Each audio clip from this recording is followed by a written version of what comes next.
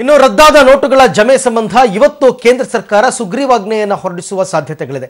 ಮುಂದಿನ ದಿನಗಳಲ್ಲಿ ಯಾವುದೇ ವಿವಾದ ವ್ಯಾಜ್ಯಗಳಿಗೆ ಅವಕಾಶ ಮಾಡಿಕೊಡದೇ ಇರೋದಕ್ಕೆ ರದ್ದಾದ ನೋಟುಗಳ ನ್ಯಾಯಬದ್ಧತೆಯನ್ನು ಅಂತಿಮಗೊಳಿಸೋದಕ್ಕೆ ಅನಿವಾರ್ಯವಾಗಿ ಸುಗ್ರೀವಾಜ್ಞೆಯನ್ನು ಹೊರಡಿಸಬೇಕು ಅಂತ ಕೇಂದ್ರ ಸರ್ಕಾರ ನಿರ್ಧಾರ ಮಾಡಿದೆ.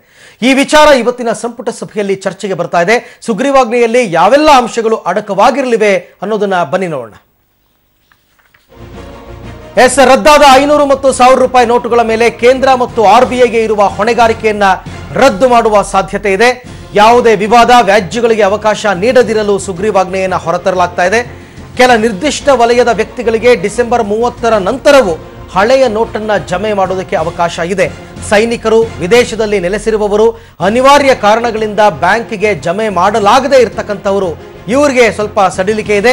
ಡಿಸೆಂಬರ್ ಮೂವತ್ತೊಂದರಿಂದ ಎರಡು ಸಾವಿರದ ಹದಿನೇಳರ ಮಾರ್ಚ್ ಮೂವತ್ತೊಂದರವರೆಗೆ ಆರ್ಬಿಐ ಬ್ರಾಂಚ್ಗಳಲ್ಲಿ ಹಳೆಯ ನೋಟು ಜಮೆಯನ್ನ ಮಾಡಬಹುದು. ಡಿಸೆಂಬರ್ ಮೂವತ್ತರ ನಂತರ ಯಾರು ಹತ್ತು ಸಾವಿರ ರೂಪಾಯಿಗಿಂತ ಹೆಚ್ಚು ಹಳೆಯ ನೋಟನ್ನ ಹೊಂದುವಂತಿಲ್ಲ. ಹತ್ತು ಸಾವಿರ ರೂಪಾಯಿ ಮೇಲ್ಪಟ್ಟು ಹಳೆಯ ನೋಟು ಹೊಂದಿದವರಿಗೆ ಭಾರಿ ದಂಡವನ್ನ ವಿಧಿಸುವ ಸಾಧ್ಯತೆ ಇದೆ. ಐವತ್ತು ಸಾವಿರ ದಂಡ ಅಥವಾ ಸಿಕ್ಕಿಬಿದ್ದ ಮೊತ್ತದ ಐದು ಪಟ್ಟು ದಂಡವನ್ನ ವಿಧಿಸುವ ಸಾಧ್ಯತೆ ಕೂಡ ಇದೆ.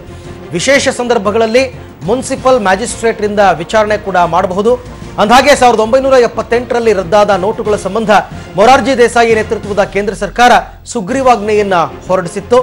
ಕ್ಯಾಶ್ಲೆಸ್ ಅಂತಕ್ಕಂಥದ್ರ ಬಗ್ಗೆ ಈಗಾಗಲೇ ಸಾಕಷ್ಟು ಚಿಂತನೆ ನಡೀತಾ ಇರೋದ್- ಇರೋದ್ರಿಂದ ಈ ಸುಗ್ರೀವಾಜ್ಞೆಗೆ ಈಗ ಸಾಕಷ್ಟು ಮಹತ್ವ ಕೂಡ ಬಂದಿದೆ.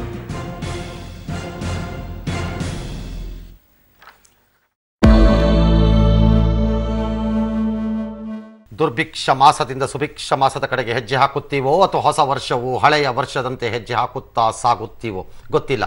ಈ ಎಲ್ಲದಕ್ಕೂ ಇನ್ನು ಮೂರು ದಿನಗಳ ಕಾಲಾವಕಾಶ ಇದೆ. ಆದರೆ ಮೂರು ದಿನಗಳ ಒಳಗೆ ಇದ್ಯಾವುದು ಬಗೆಹರಿಯುವುದಿಲ್ಲ. ಕಾರಣ, ಧೂಳು ಎದ್ದಿದೆ. ಧೂಳು ಮತ್ತೆ ಬಂದು ಭೂಮಿಯ ಮೇಲೆ ಸೆಟಲ್ ಡೌನ್ ಆಗಕ್ಕೆ ನನ್ನ ಲೆಕ್ಕಾಚಾರದಲ್ಲಿ ಮೂವತ್ತು ದಿನವಾದರೂ ಬೇಕೇ ಬೇಕು. ಪ್ರಥಮ ದರ್ಜೆ ಕ್ರಿಕೆಟ್ನಲ್ಲಿ ಗುಜರಾತ್ ಹುಡುಗ ವಿಶ್ವ ದಾಖಲೆಯನ್ನ ಬರೆದಿದ್ದಾನೆ. ಬರೋಬ್ಬರಿ ಮುನ್ನೂರ ಐವತ್ತೊಂಬತ್ತು ರನ್ ಗಳಿಸಿದಂತ ಗುಜರಾತ್ನ ಸಮಿತ್ ಗೋಯಲ್ ಒಂದು ರೀತಿ ವಿಶ್ವ ದಾಖಲೆಯನ್ನ ಈಗ ಬರೆದಿರುವಂತದ್ದು ಒಡಿಶಾ ವಿರುದ್ಧದ ರಣಜಿ ಪಂದ್ಯದಲ್ಲಿ ಸಮೇತ್ ಗೋಯಾಲ್ ದಾಖಲೆಯನ್ನ ಬರೆದಿಟ್ಟಿದ್ದಾನೆ.